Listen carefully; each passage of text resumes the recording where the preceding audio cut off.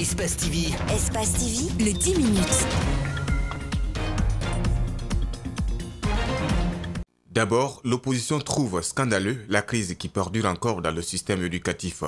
Cellou Daléan, dans ce contexte, sollicite du gouvernement des concessions. Aussi, faire face, dit-il, à des difficultés considérées structurelles.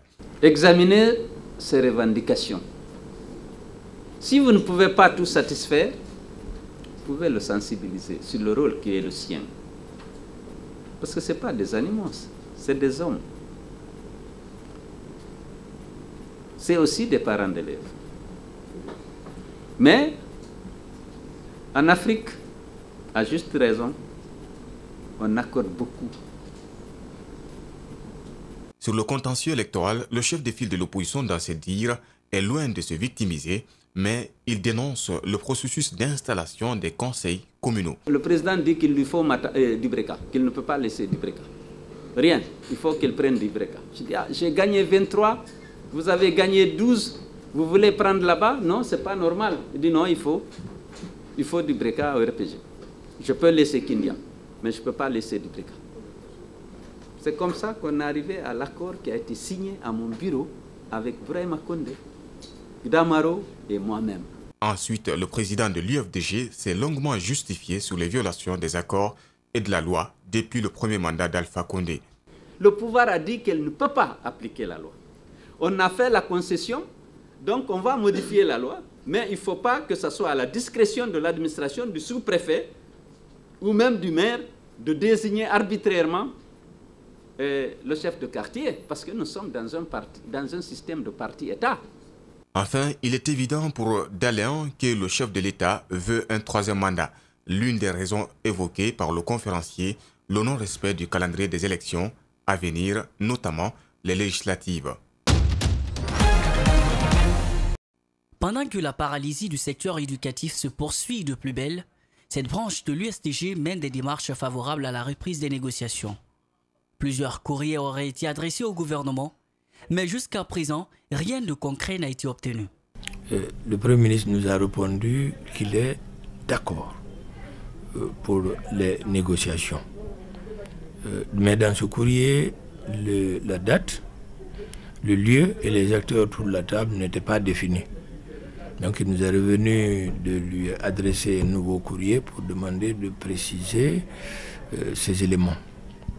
Plusieurs facteurs traînent les négociations, ce sont les préalables du gouvernement qui sont pour l'instant inacceptables pour le SLEG. Le Premier ministre nous a répondu pour dire qu'il est d'accord que les négociations aient lieu, mais la condition préalable, c'est la suspension de la grève par le SLEG. Euh, et une fois que cette condition est remplie, avec euh, tous les syndicats du secteur éducatif que nous puissions nous asseoir autour de la table et discuter. L'USTG prône le dialogue autour de la table de négociation, mais seulement avec la fédération de Aboubakar Souma, qui est la partie revendicatrice. Je, pense que le, gouvernement comprend aujourd'hui mieux que quiconque que le porteur des revendications, c'est le SLEG de Aboubakar Souma, qui a dit aux enseignants de ne pas aller en classe, les enseignants ne vont pas en classe. Il n'y a aucune autre fédération qui peut dire aux enseignants aller en classe, malgré qu'il y a certains qui disent qu'ils apprécient le gel des salaires, qu'ils demandent à ce qu'on retourne en classe. Ils ne sont pas écoutés. Lors de la dernière assemblée générale du SLEG, Aboubakar Souma et ses compagnons ont rejeté en bloc les exigences du gouvernement. C'est sur le thème Soutenir l'inclusion des personnes handicapées à travers l'architecture du handicap de l'Union africaine qu'a démarré cette rencontre. Elle réunit personnes à mobilité réduite, cadres du gouvernement, journalistes et des représentants de l'Union africaine, le Sénégal et l'Afrique du Sud. Il est question d'élaborer une stratégie pour le développement inclusif et effectif des personnes handicapées. L'handicap constitue une priorité aujourd'hui au niveau du gouvernement. Elle, il est en lien avec euh, vraiment euh, la vision d'une Guinée inclusive que Monsieur le Président de la République souhaite réaliser en République de Guinée. Alors, euh, cette activité qui nous aide vraiment dans le renforcement des capacités pour pouvoir élaborer une stratégie inclusive aussi se situe dans le cadre de la réalisation du programme national de développement économique et social. Désormais, les États africains prennent la protection et la promotion des handicapés à bras le corps. Il s'agit d'égalité de chances dans les postes de responsabilité, l'emploi, mais aussi la formation et le renforcement des capacités de ces hommes. Vous avez le renforcement de leurs capacités, la formation doit bénéficier de formation pour gérer mieux les, associations qui gèrent, les institutions qui gèrent. Il y a aussi euh, l'accès aux soins de santé. Il y a aussi l'accès à l'éducation. L'accès aussi à l'emploi. Au-delà de tout, précise la conseillère du président Macky Sall du Sénégal, venue pour trois jours d'échange, le premier travail implique ces personnes handicapées qui doivent se battre pour leur formation et œuvrer pour leur épanouissement. C'est aux environs de 9 heures que le feu s'est déclaré au deuxième étage de ce bâtiment à usage domestique et bureautique. Plusieurs bureaux, dont celui du site d'information Guinée7 et ActuConacry.com, sont partis en fumée. Le matériel informatique, les documents, tout a été consumé à ce niveau. Selon nos informations, c'est un court-circuit qui serait à l'origine. Le feu a duré plus de deux heures avant d'être maîtrisé. Il a fissuré les murs, même les carreaux ne sont pas épargnés. Le propriétaire du dit bâtiment ne s'est pas prêté à nos questions, mais le directeur de la protection civile, dont le service est souvent accusé d'être en retard sur les lieux d'incendie, s'explique. Là où le feu a commencé, il n'y avait personne.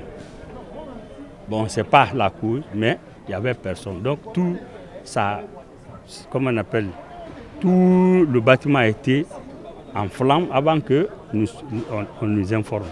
Donc on est venu quand tout le bâtiment était déjà en flamme. Donc il n'y a pas eu de perte en vie humaine et hein, c'est un agent de pompier seulement qui a été légèrement blessé. Après avoir maîtrisé le feu, les victimes ont été invitées à venir faire le constat. Un constat très alarmant. Le constat est très amer. On a tout perdu. On a tout perdu. Il n'y a rien qui est récupérable. Même euh, les carreaux dans le bureau ont pété. Informée, Madame le maire de Kaloum est venue elle aussi compatir la douleur des victimes. Oui, ben, nous étions en session quand nous avons appris euh, cette nouvelle, cet incendie dû à un court-circuit. Donc euh, nous avons tous accouru ici à tous les conseillers de la commune pour venir constater de visu euh, les dégâts. Nous allons voir comment nous pourrons être à leur côté. Une enquête est déjà ouverte par l'Office de la police judiciaire pour comprendre l'origine de cet incendie qui a causé des dégâts assez importants. Qui est-ce qui retransmet en même temps là? À l'indignation du très grand nombre contre les inégalités et surtout contre le fait que les uns ont tout et les autres rien, il a pensé qu'une distribution de monnaie pourrait calmer l'insurrection citoyenne qui a éclaté. Je crois que l'acte 5, qui se jouera samedi prochain, l'acte 5 du début de la révolution citoyenne dans notre pays, sera un moment de grande mobilisation. Mais bien sûr, comme tout un chacun, je m'en remets à la décision qui sera prise par ceux qui sont dans l'action.